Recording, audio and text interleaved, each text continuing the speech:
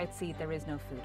The importance of protecting these collections is that we make them available for now and future years, but that we also ensure that they are adapting to the changing environment year on year. Protecting indigenous seed and allowing farmers to actually grow and save their own seed so that they can have seed year on year. If you only grow one type of crop and it gets disease or it gets attacked by a pest, then it's gone. You need to explore and ensure that you're actually protecting the diversity of the seed.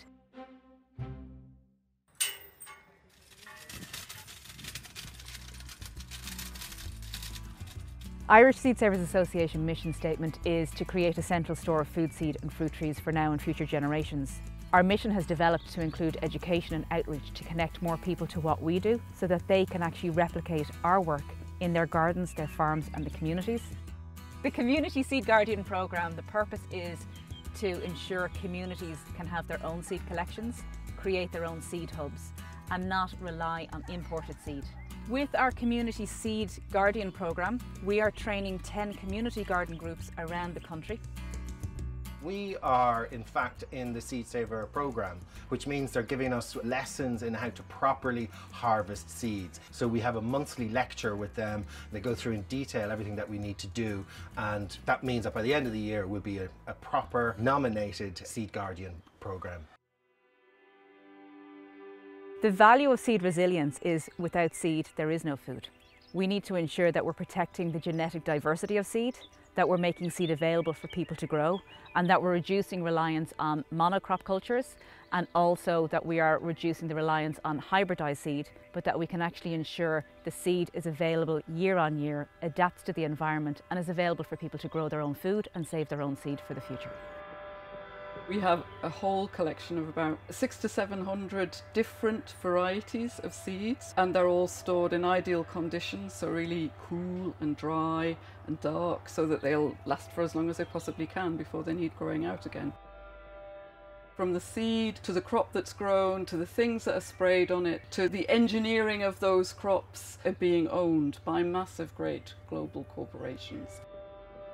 So it means small people that just want to grow their food, have localized food, have interesting crops. There's no room for that in those places. That's why this work's valuable. And there's so few people doing it.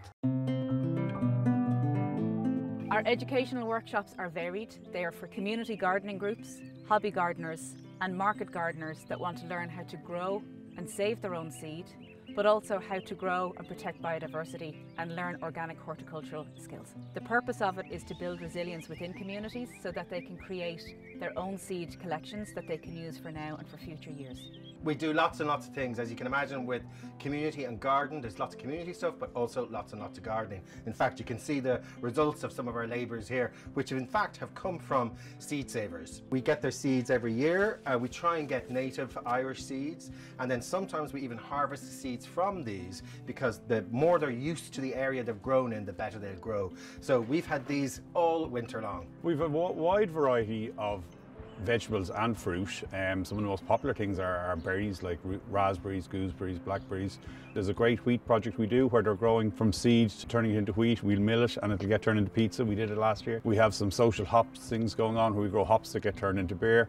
Irish Seed Savers use Facebook groups for our Community Seed Guardian programme and it allows an opportunity for the various groups that are part of this programme to actually connect together and for us to give them updates and follow on with our training so that they're benefiting from the programme overall. I do believe that the demand for seed is going to continue. I think more people are now starting to consider from where their seed comes and more people are now showing an interest in learning the skills of seed saving. The crop that you're growing and the food that you're creating and then to save your own seed as well so you're fully in charge of the whole cycle, totally sustainable, totally self-sufficient.